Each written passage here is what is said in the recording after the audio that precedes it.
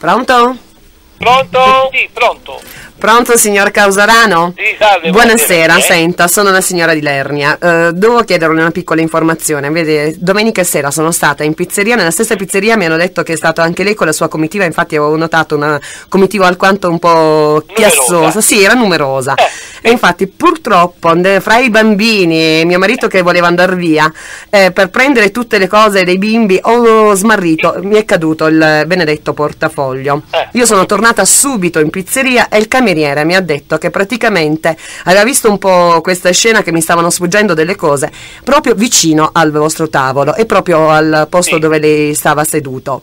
Sì. Quindi volevo chiedere se gentilmente, non so, ha visto, ha trovato qualcosa, più che altro non tanto non me ne frega niente dei soldi, ve li potete pure Io prendere. capito, ma perché lei si rivolge a me? Quello che non E capisco. perché il cameriere mi ha detto che è capitato proprio vicino al suo posto, dove Ah, stavano seduti. no, lei mi aveva detto vicino al tavolo, quindi vicino Sì. al mio posto. No, perché mi ha detto un signore sui 40-45 anni, biondo, un po' io, stempiato. perché Praticamente io sembro che ho 40-45 anni, ma in realtà ne ho molti di più. E capisci? comunque mi è stato detto proprio dal, dal cameriere del locale. E No, quindi... guardi, io non ho preso niente comunque, a parte diciamo la battuta. Ma è io sicuro, no, preso guardi, a me non me ne importa niente, Ah, anche... ma probabilmente il cameriere l'ha informata male. No, perché ha visto proprio una No, scena un po' il cameriere, il truffata. cameriere le ha detto che l'avete Ah, preso voi, io sono il marito. Caro, ma è, è vero, Sì, diglielo, ve l'ha detto il diglielo. cameriere, ve l'ha detto. Ha No, detto che l'ha preso quel signor Causarano, me? dell'elettronica 2000. Ok. Eh no, eh no, qui dobbiamo fare le cose. Se i soldi se li vuole tenere, se li tenga. Eh, va Però bene, dobbiamo va fare la bene, cosa. questo I documenti punto- voglio A questo io. punto pensate che io mi voglia tenere i soldi, forse mi servivano quei soldi e me li sono tenuti. Cosa vuole che No, no, io voglio i documenti, che c'entrano i soldi? I soldi se li può tenere, si faccia un'altra pizza alla mia salute. Ah, va Anzi, bene, va ne bene. faccio pure Va due bene. pizze. Va bene, va bene. A E questo punto ve li tengo e ne faccio due di pizze. Allora ce l'ha lei i soldi e anche i documenti. Allora lo No, ammette no, che no, li ha voi- preso lei. pensate quello che volete, ma io soldi non ce li ho. Si- senta, si Io metta nei miei panni, lei sa benissimo la trafila burocratica per rifare tutti i documenti.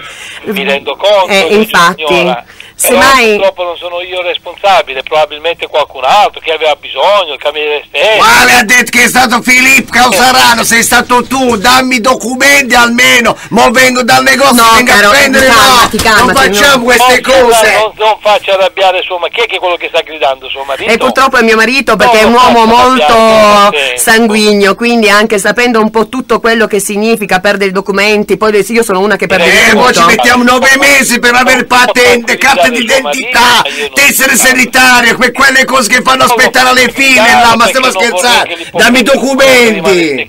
Faccia, faccia stiare tranquillo. No, per Non favore, perché mi sembra che è una persona quanto corretta, non fa niente che si prende i documenti e i soldi della gente in pizzeria, però sembra va quanto corretta. soldi spendesse e facesse la pizza, a noi non bene, interessa, i soldi non li vogliamo, vogliamo i documenti. E poi il portafoglio la firmata, va roba buona. Adesso me lo devi... Saluto, signora, vi saluto. Ci abbandona, no, allora Eh sì, senta. come no. No, per cortesia, almeno, caro, stai un po' calmo per piacere. Allora, signor Filippo, la posso chiamare Filippo? Va bene. Ok, la ringrazio No, quel si chiama Nino, Nino si fa chiamare per non farsi riconoscere. Ah, ecco perché.